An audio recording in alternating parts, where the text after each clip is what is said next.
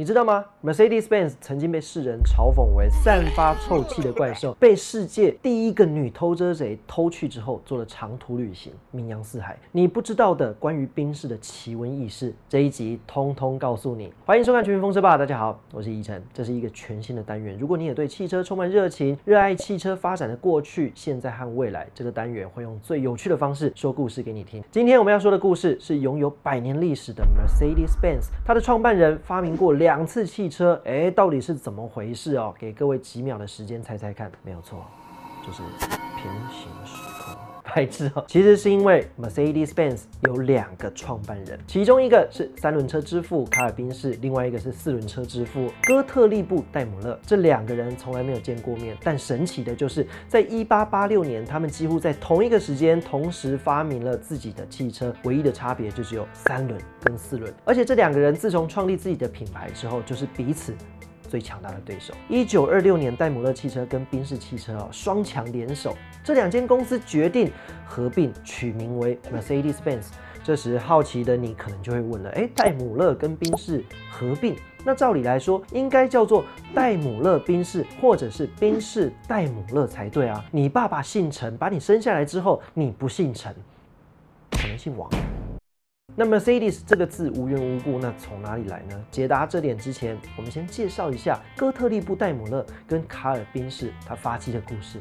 卡尔宾士出生在一八四四年的德国福腾堡，父亲是一名火车的驾驶，在卡尔宾士两岁的时候就死于肺炎，所以从小卡尔宾士就和母亲贫困的相依为命。尽管如此哦，卡尔宾士并没有屈服于命运的不公平哦，认真的他呢，十五岁就通过了卡尔斯鲁厄理工学院的入学考试，主修就是机械工程。卡尔斯鲁厄大学这间学校有多厉害啊？出了五位诺贝尔奖的获奖者哦，校友包含了氢弹之父、运动学之父、电磁学学之父，还有这个十五岁就入学的天才汽车之父卡尔宾士呢，很明显就是父权的遗毒。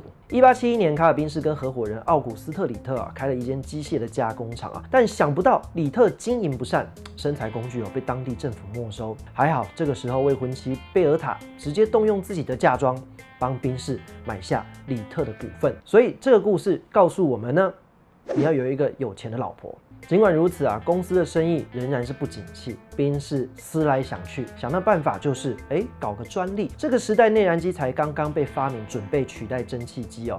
但是呢，引擎的转速要如何调整，怎么样点燃燃料最有效率，都没有一个标准出来。宾士决定发明一个全新的引擎。事隔八年之后啊，宾士完成它的二行程引擎，并且申请了专利。这引擎到底有多厉害呢？呃，可能没有很厉害。一八八五年，宾士制造造出世界上第一台三轮车——宾士一。一号搭载的就是这一个引擎，这一台车被形容的就是非常不容易操控，而且噪音很大，链条容易断裂，而且容易抛锚，被嘲笑为散发着臭气的怪物，俨然跟现在宾士这个品牌。给观众、给消费者的印象是截然不同。那个时候的宾士啊，常常撞得东倒西歪啊，围观的民众也笑得东倒西歪。甚至哦，有一次啊，卡尔宾士自己在试车的时候，都撞到自己的围墙上。隔年，一八八六年换上新的引擎。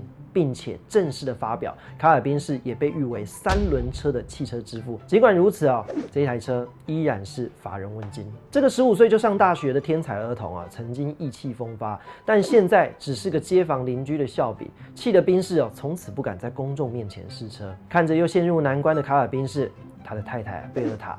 哦，不知道又要出什么奇招了，决定叫醒两个在放暑假的儿子。天还没有亮，就偷偷瞒着卡尔宾士把车开出门了。哦，所以他也是这个历史上第一个偷车贼。当儿子问他妈妈我们要去哪儿啊？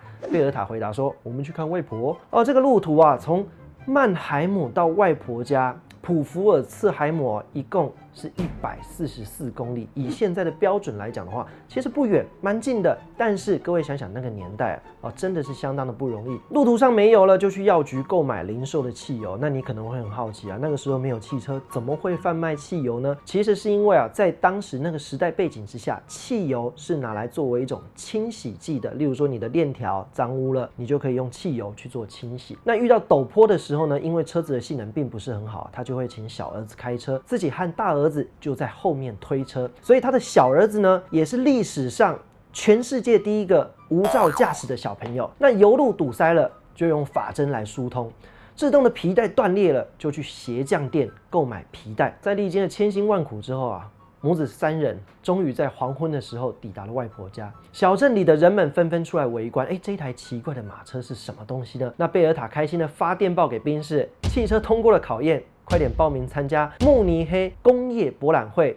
P.S. 车子没跟你说就开走喽，啾咪！果然，宾士在宾士一号参加了慕尼黑工业博览会上面啊，一炮而红。贝尔塔也因为这件事情成为世界上第一个长途汽车驾驶员，同时也是历史上第一个偷车贼，偷的还是自己老公的车。二零零八年这一条啊，他回娘家的路，贝尔塔。宾士纪念之路由德国政府正式批准了，认可为旅游观光路线，成为德国工业文化重要的里程碑。所以，如果各位有兴趣的话，也可以去尝试着这一段旅程，应该是蛮有趣的。也因为这一次的长途旅行啊，贝尔塔也提出了许多实用的建议，例如说，呃，老公啊，应该增加一个低速档。专门给上坡使用。之前研发汽车引擎时哦，他有发明了其他的专利，例如说离合器啊、换挡机构啊、火星塞啊、化油器这些专利都派上了用场，做了一个全新的大改款。卡尔宾士呢非常勇敢的推翻当时技术面已经相当成熟的蒸汽引擎哦，带领人们一步步进入轻巧便利的汽油引擎时代。另外一个汽车之父。哥特利布戴姆勒，一八三四年的时候出生于斯图加特附近的小镇哦。一八四八年中学毕业之后，戴姆勒他选择了一个很哈扣的职业啊，你绝对想不到，叫枪匠。结束了短短四年的训练之后啊，戴姆勒离开了枪械制造这份行业。二十二岁那一年呢，戴姆勒来到了德国斯图加特工业大学，仅仅学了两年。简单了解引擎原理的戴姆勒产生了和卡尔宾是同样的想法：蒸汽引擎迟早会被淘汰。他的目标呢是设计更小型、更便宜、更亲民、更简单的引擎。不过话说回来啊，二十二岁就会有这种想法。